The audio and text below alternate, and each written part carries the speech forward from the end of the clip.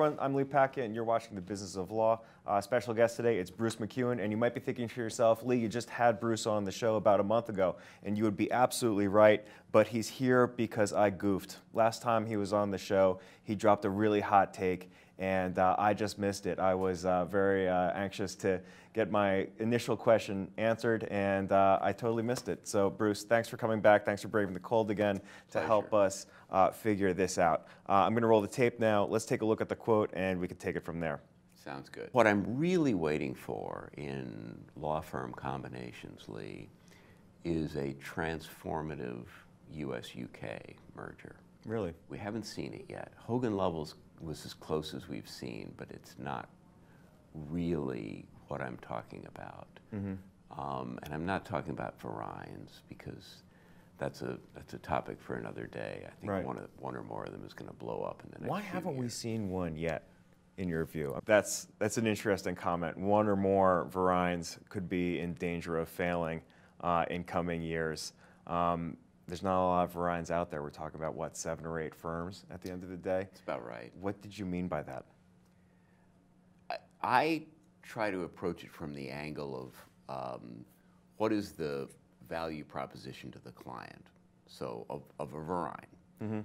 And you know as well as I that there's this old saw: you hire the lawyer, or you hire the law firm.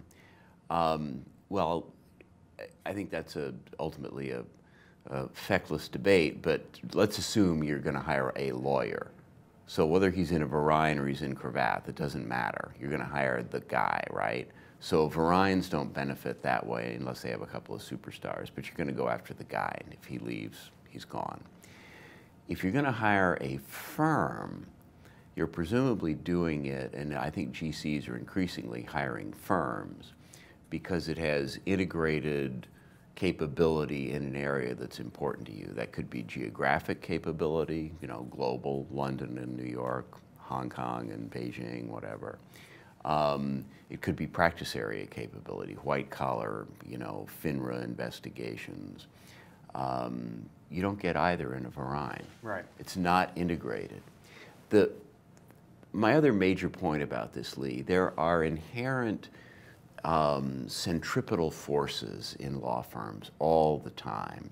People are always looking to see if the grass might not be greener, if they could make another 15% or 25% somewhere else, if that firm's on a roll and maybe our firm is kind of treading water. Um, those centripetal forces are just as strong in Vereins as they are in any other law firm, but the centrifugal forces, the ones that are pulling people together to stay in the firm, to keep it together, are very weak. It's not a firm. Right. They never scrambled the eggs. They will admit it.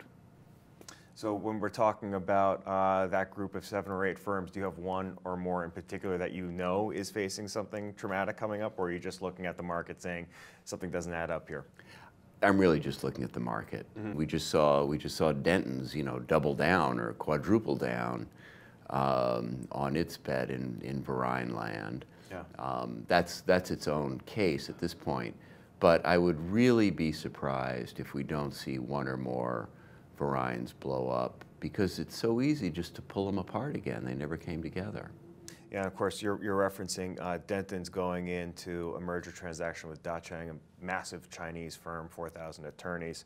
Um, you had a really interesting article on your, uh, on your website about the deal, saying that your initial thoughts uh, really looked to how uh, Dacheng has not only a presence in the major cities in China, like Beijing and China, but they also have a well-established presence in the next 10 largest cities in China. It's really about accessing the middle tier market. They are all over And China. I don't mean to say middle tier because they're all massive cities when you look at that list. I mean, there's a lot of a lot of business, a lot of people there. Um, how do you feel about the deal today? Is that still your your thought? it's still my working hypothesis, meaning I don't have a better idea yet at this point.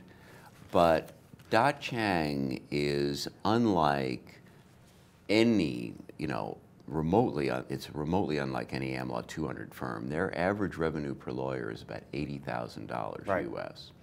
Um, and as you said, they're massive and they're everywhere. It's- they're not just in the 10 second cities in China, they're probably in 100 or 200 cities in China. I mean, they're, I hate to say it, but they're like the H&R block of China, you know, Mhm. they're everywhere. And trying to make sense of that deal, it struck me that what they may be trying to do is link a Dentons lawyer to those 200 cities. So that if there are people in those 200 cities who want to do something outside China, to your point, there's a lot of capital and a lot of economic activity in those cities. Um, who are you going to go to? You've never heard of Cravath. You've never Right. heard of Clifford Chance. It's about referrals. It's about referrals. And here's my friend from Dacheng who's connected to Dentons, and Dentons is everywhere in the West. That might make sense. Yeah. It's, it's a fascinating deal, and the more I talk to people, the more the answer is, well, let's, let's wait and see. Let's see how this goes. Uh, for those people who are paying very, very close attention to how this deal unfolds, what's the next point in the road that you're most interested in seeing? What's going to be the moment where we're going to have greater clarity on what this deal is going to mean, not only for the firm, but also for the market? I'd give you two answers, uh, Lee, and the you know the economist in me is going to be responsible for the first answer, right? Which is let's see what the first set of truly consolidated financials looks like, you know, versus pro forma before, and and then adjust it for whatever's happened in the market and the global economy and headcount and the CPI and everything else um, so that it's you know as much as possible an apples to apples comparison. That's obviously that's obviously important. The proof is in the pudding. This is a capitalist enterprise. But let me follow that capitalist enterprise observation with my second thought, which is, as you know, uh, lawyers in China pledge uh, loyalty to the Communist Party, first and foremost um, before the bar, before the profession, before any such, you know, wild concept as the rule of law.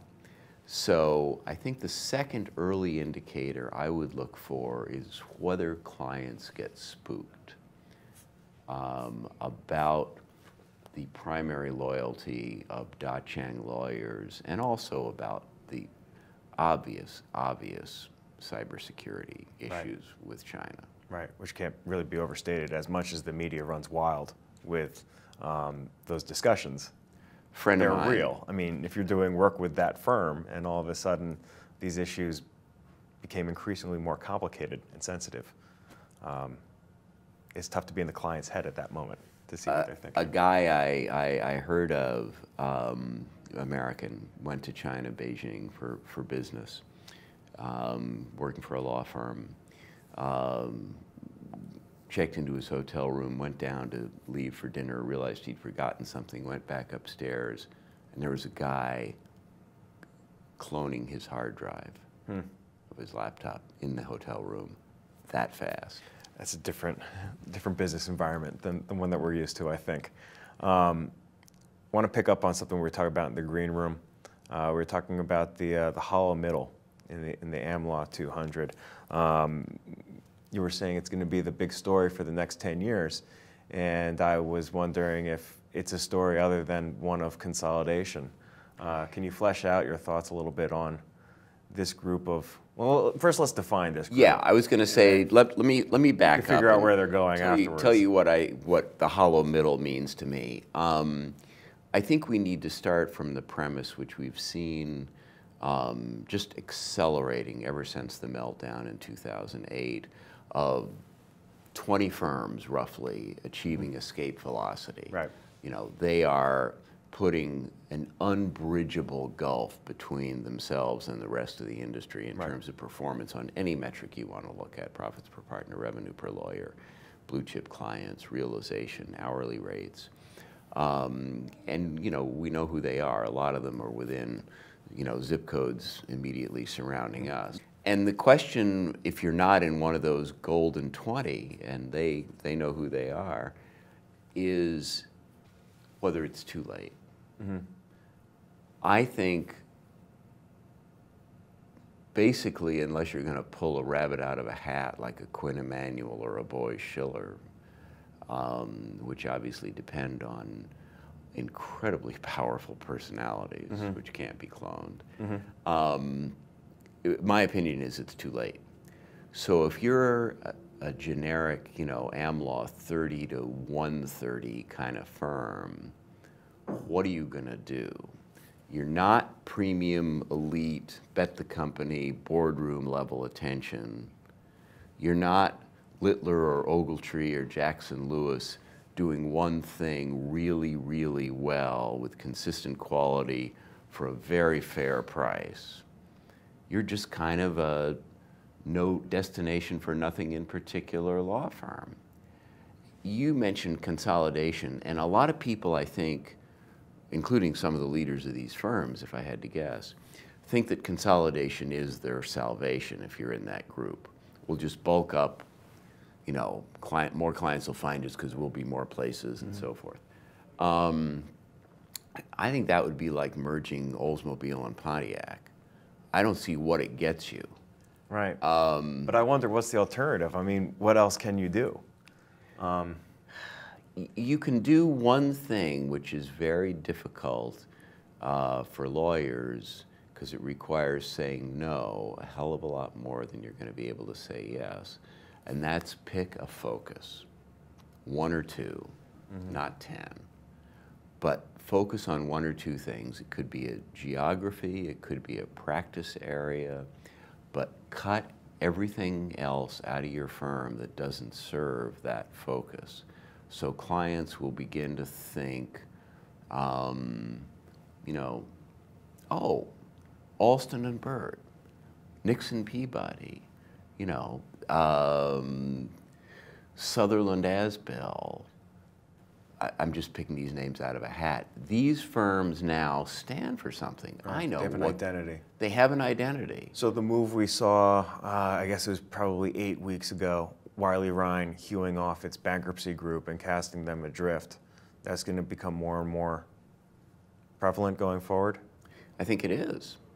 And understand something. That's not the worst thing for the cast offs, quote unquote, because they're now an instant boutique. Um, they get a chance to focus, if you will, without the overhead of the rest of Wiley Rein that presumably wasn't doing them much good and they were not terribly appreciated at Wiley Rein. It's like Debevoise at a different level casting off the T&E group. Um, you're not a core competence at Debevoise if you're a T&E lawyer. You really aren't. And if I were a T&E lawyer there, I would think, hmm, the pastures could be greener. This is a process, of course, that requires brutal honesty and um, a lot of courage. It's, it's not something that I have questions as to when a process like that would take place in earnest within the AmLaw 200. Do you think, do you have any sense that we're close to something like that happening? Well, you and me both have, have doubts about that, Lee. Um, it does require courage. Um, it requires, frankly, looking a little bit over the horizon, which lawyers are uncomfortable with. We want proof beyond a reasonable doubt that something is going to work. Life doesn't welcome, work like that. welcome to the business world. Right. A friend of mine was uh, chief operating officer of an AmLaw 100, and he said anytime a deal came before the executive committee that had any hair on it, they would turn it down. He said, every deal is hairy. Every deal is hairy. Lawyers don't do well with that, which leads me to um, why I think this is going to be the big story of the next 10 years. A lot of firms aren't going to have the courage, the intestinal fortitude to do this. They're going to remain stuck in the hollow middle. Now, that's, that's not necessarily an apocalyptic sentence, but it's a sentence, in my opinion, to irrelevance. Bruce, always a pleasure. Thank you for stopping by. Thank you. That's Bruce MacEwen, consultant to law firms and publisher at Adam Smith Esquire. If you'd like to see more of the stuff we're working on, be sure to go check us out online. You can find us at mimesiswebtv.com. You can also find us on YouTube and Twitter. I'm Lee Pacchia. Thanks for watching.